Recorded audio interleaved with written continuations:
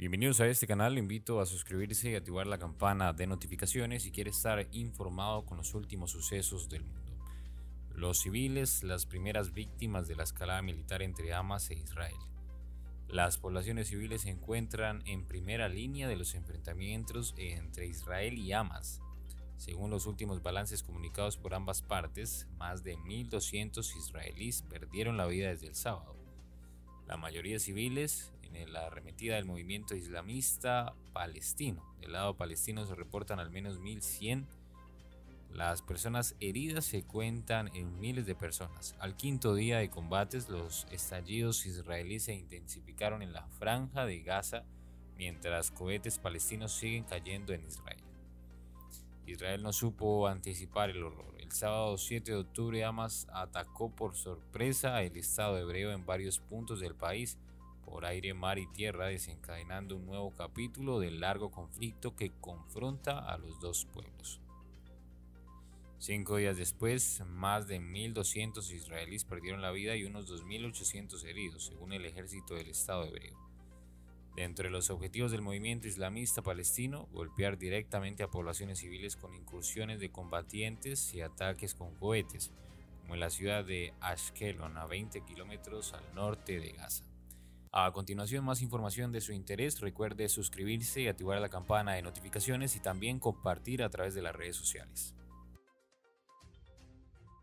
No hemos visto nada todavía que Um, pueda apoyar eh, este ataque, pero nuestra experiencia nos dice que sería prematuro derivar conclusiones en este momento. Vamos a analizar información adicional en los próximos días para eh, precisar detalles de la situación, incluyendo para ver si alguien en Irán eh, contribuyó con la planificación de este um, ataque. Y si me permite una pregunta más, los egipcios dicen que le dieron advertencia directa a los israelíes Uh, que se estaba gestando algo en Gaza de parte de Hamas. Estados Unidos ha podido confirmar uh, eso. Eh, dejaré que Israel um, eh, hable de sus conversaciones con Egipto.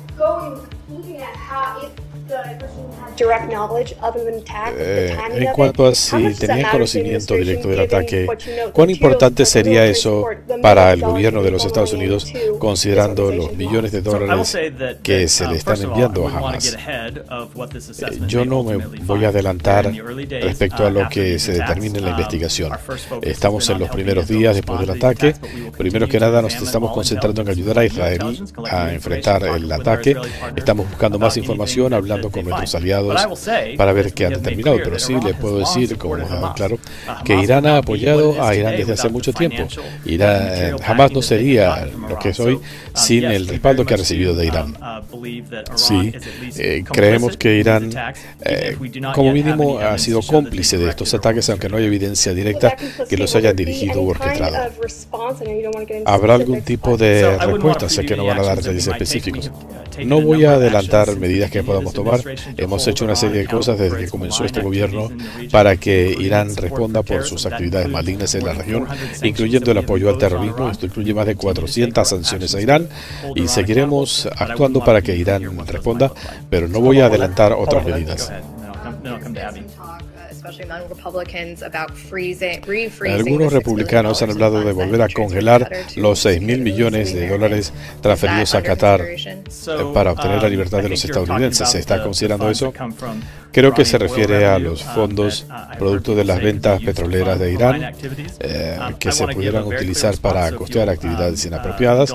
Quiero dar una respuesta uh, directa si me lo permiten. Voy a leerles algo. Irán eh, no tendrá dinero, nada, cero para gastar en esto. El 100% del dinero que reciba Irán estará en cuentas foráneas y solo se podrá utilizar para comercio humanitario y bilateral y nada más. Y debo destacar que esta no es una cita de eh, el ex secretario de Estado Mike Pompeo el 2 de noviembre de 2018, cuando él estableció estas cuentas eh, donde estaba ese dinero al que ahora Irán tiene acceso, con otras restricciones que hemos impuesto para que esos fondos solo se puedan utilizar para comercio humanitario, no para comercio bilateral o de artículos no esenciales, eh, solo para asuntos humanitarios. En cuanto al futuro, tenemos la capacidad de volver a congelar los fondos si fuera necesario. No hemos tomado una decisión.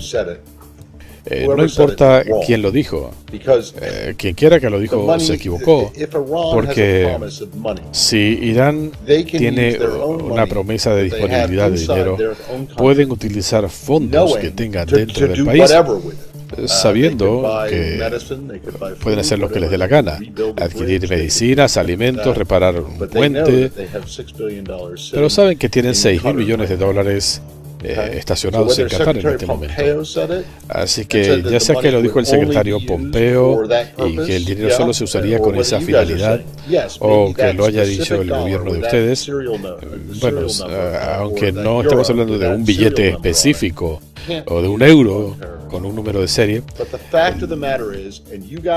que se está usando para costear el terrorismo, la realidad es que ustedes, y ustedes lo saben, que esto libera fondos que Irán ya tiene en el país para otras cosas, así que no tienen que usar ese dinero para artículos no sujetos a sanciones.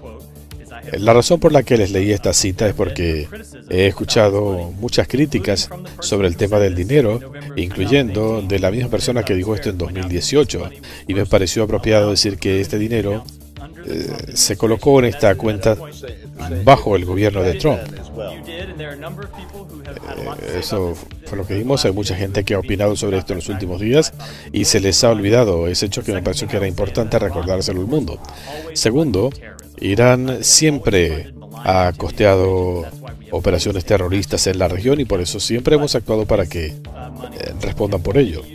Pero este dinero solo se puede usar para fines humanitarios, ni un solo centavo eh, ha sido utilizado hasta el momento y podemos volverlo a congelar en cualquier momento. La crítica no es esa, la crítica es que eh, esto libera recursos que estén dentro de Irán para fines indebidos. No hay evidencia de que sea así. ¿Puede usted decir que no hay evidencia que Irán haya utilizado dinero en el último mes o mes y medio eh, desde que el dinero llegó a Qatar eh, para apoyar a Hamas. Ellos estaban apoyando el terrorismo desde antes bajo el gobierno de Trump eh, y no hay duda que van a seguir costeando operaciones terroristas en el futuro. Por eso necesitamos que respondan. En cuanto a este dinero, no se puede usar sino para fines humanitarios. Tenemos vigilancia estricta y si hubiera algo indebido lo podemos congelar de inmediato.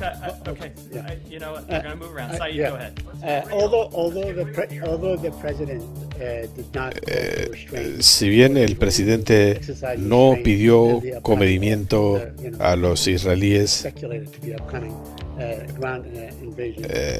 cuando se especula que va a haber una ofensiva terrestre, el presidente mencionó que Israel debería acatar las leyes internacionales.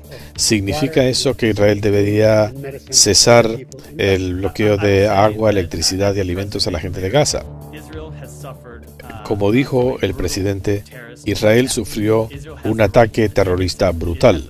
Israel tiene derecho a defenderse, eh, tiene derecho a responder a los terroristas que causaron estos ataques y mataron a israelíes, estadounidenses, eh, madres y niños, secuestraron niños.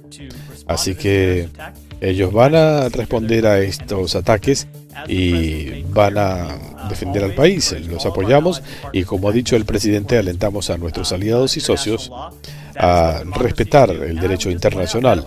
Eso es lo que hacen las democracias. Y por cierto, eso no es lo que hizo jamás. Eso no es lo que ha hecho jamás. Eh, la incursión en Israel eh, matando, secuestrando y, asesinando a personas inocentes. Entendemos que Hamas es una organización terrorista. Ellos no reciben dinero de ustedes ni asistencia militar, eso está claro. Usted dice que Israel es una democracia que respeta el derecho internacional. Mi pregunta es, el cortar el suministro de agua, electricidad, alimentos y medicinas es apropiado? Eh, cortar el ingreso de medicinas alimentos, agua y electricidad. Hemos dicho desde el principio que Israel tiene el derecho a responder eh, a un acto de terrorismo contra sus ciudadanos. Esperamos que respeten el derecho internacional y que siga siendo así. ¿Usted piensa que ellos no están atacando a civiles intencionalmente? ¿Sabe usted cuántos palestinos han muerto por acciones de los israelíes? He visto reportes. ¿Y cuál es la cifra? ¿Miles? Yo le puedo hablar de lo que puede verificar el gobierno estadounidense. Eh, Israel hablará de los ciudadanos israelíes o palestinos.